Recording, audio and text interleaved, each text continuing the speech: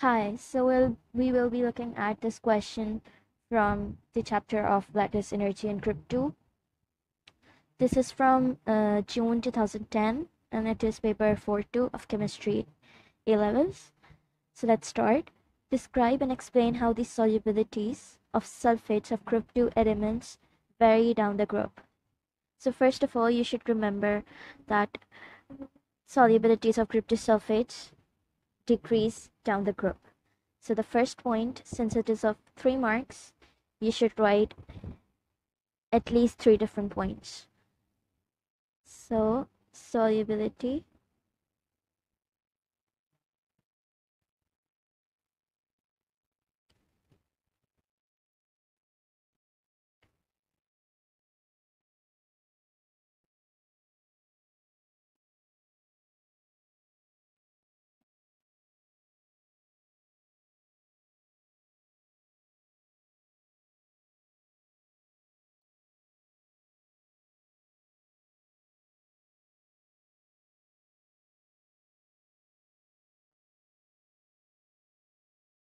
Now that you have mentioned your main statement, you should give your reasoning for this.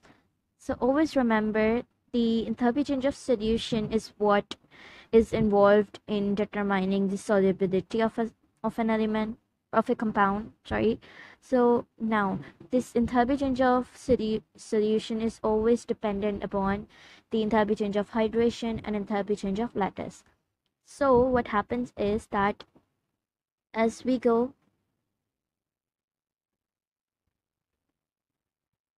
down the group, the enthalpy change of hydration and enthalpy change of lattice are both decreasing.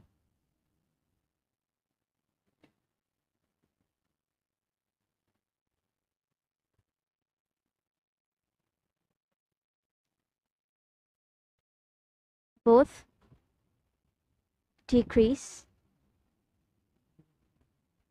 but the thing is that enthalpy change of hydration decreases more significantly as compared to enthalpy change of lattice. So, uh,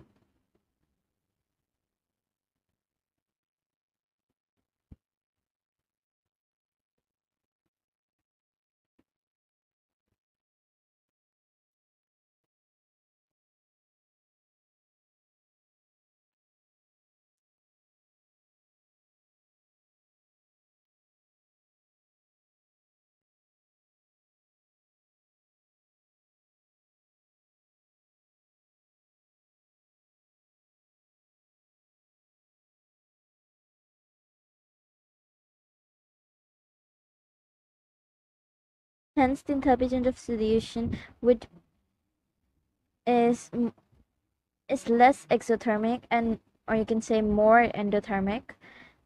And you know, since it is less exothermic, the solubility is decreased. Is less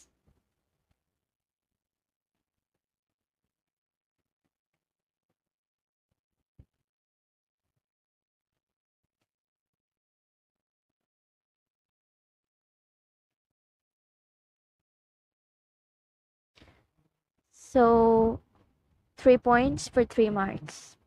You can always use this formula of of solution to solve this kind of question. I'm writing the formula here. It is enthalpy change of solution is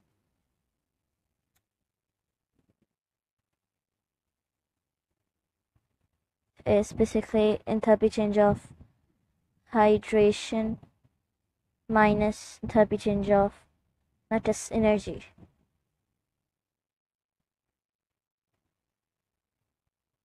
So we said that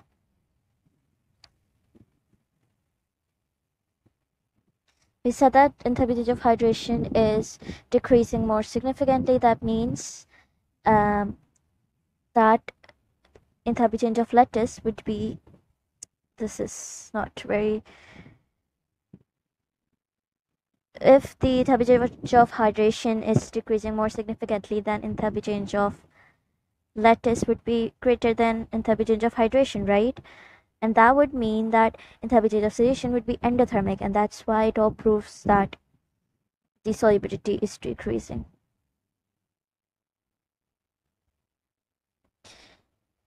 Moving on. The following table lists some enthalpy changes for magnesium and strontium compounds. So the values are given, okay. Use the data, use the above data to calculate values of enthalpy change of solution for magnesium hydroxide and strontium hydroxide. So this is very easy, you just need to keep in mind this formula and you can use the Hess cycle and solve this question. So I would be doing this with the help of has a cycle. So let's write an equation for lattice energy first since the value of lattice enthalpy is given for both of them. So let's write an equation. So in Firstly, what is lattice energy? It is the enthalpy change when one mole of an ionic compound is formed from its gaseous ions under standard conditions. So that would mean that uh, magnesium ion, which would be in gaseous state, is combining with the hydroxide ion again in gaseous state and giving one mole of magnesium hydroxide right?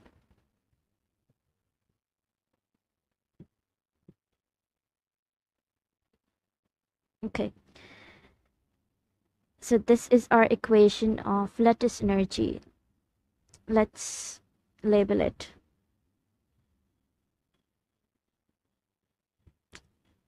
Lattice.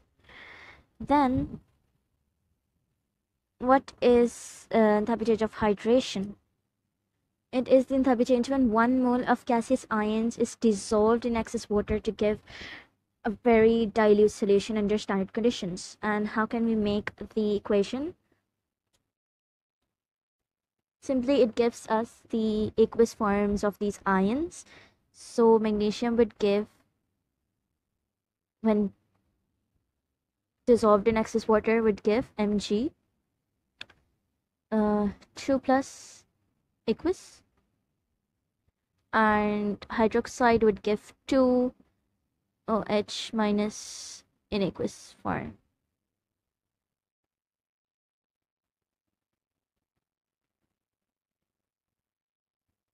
Right. Then, lastly, enthalpy change of solution. It is the enthalpy change when one mole of an ionic compound dissolves in excess water to form a very dilute solution under standard conditions. Now, we have the ionic compound and we have uh, the aqueous ions here. So we can just draw this one arrow to show enthalpy change of solution. And let's label all this. This is enthalpy change of solution. These are enthalpy changes of hydration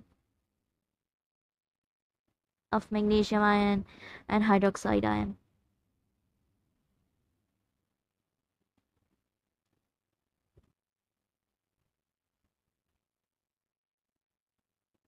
Right. Now, all the values are given. Let's make a equation and then solve. So how we solve this is we make a clockwise circle and whatever is in the same direction as these arrows in the clockwise direction we are going to put that those values on one side and whichever values are in the opposite we are going to do, put those values on the other side of the equation. So that means let look at the let's look at this lattice energy it is in the same direction as the clockwise uh, circle so that we can put this lattice energy value which is this one negative 2993 then this enthalpy of solution is also in the same direction as this clockwise circle and we have to find that out so we can put an x in place of that. And then let's look at both the hydration values are in the opposite direction as compared to the clockwise circle. So these two values are going to be on the other side of the equation. But remember since the hydroxide ions are 2 we need to multiply this value by 2 so that would be on the other side of the equation uh, negative 1890 negative 2 into 550 right? Solving for the x we will get the answer as positive 3 don't forget to write the sign. Now the other part of this question.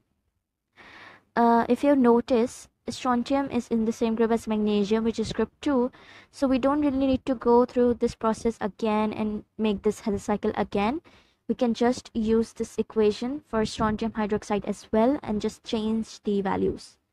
So let's put the value of um, lattice enthalpy which is negative 2467 so negative 2467 plus x is equals to uh, negative 1414 2 into 550 and the answer would be negative 47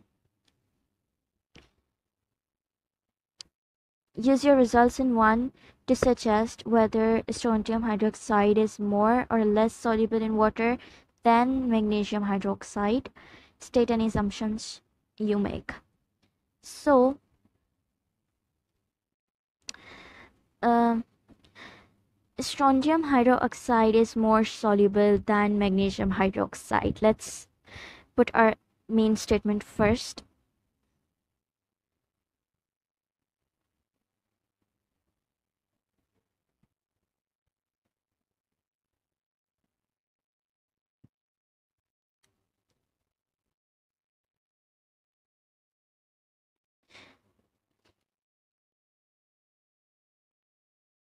Now, why is this? This is because the enthalpy change of solution of, of strontium hydroxide is more negative or more exothermic than uh, magnesium hydroxide. So the reason is because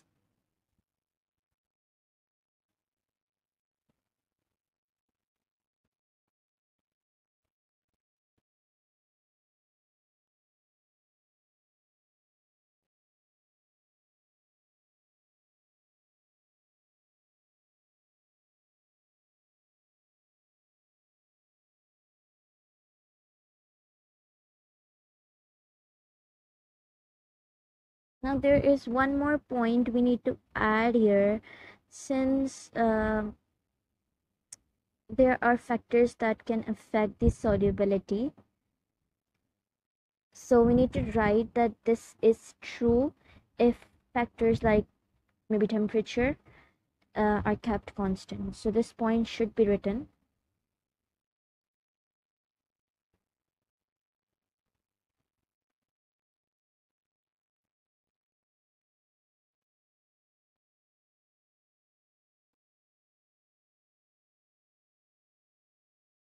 and you will know why in the next part of this question.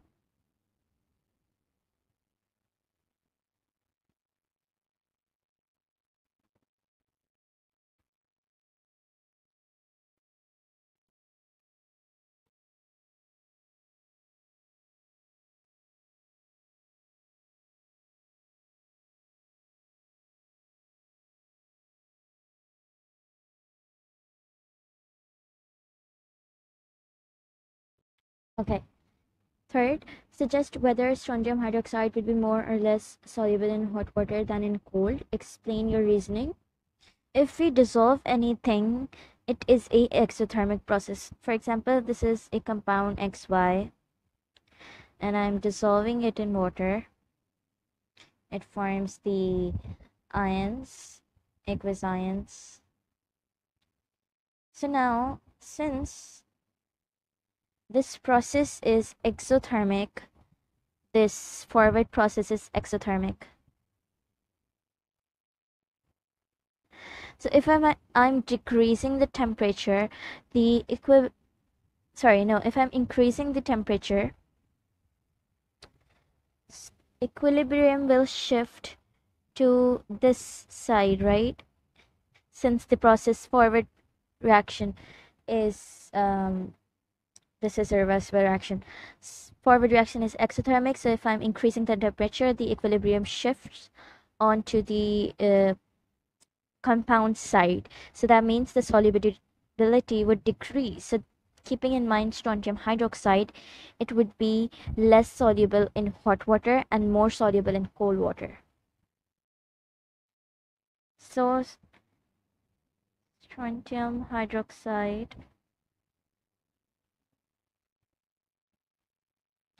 more soluble in cold water as compared to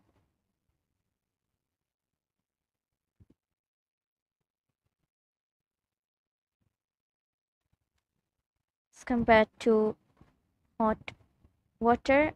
What is the reason is because this enthalpy change is exothermic.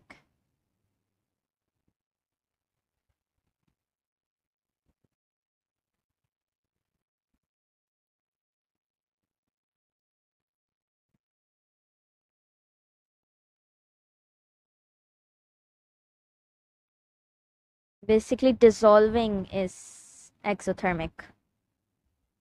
Or you can say let me include that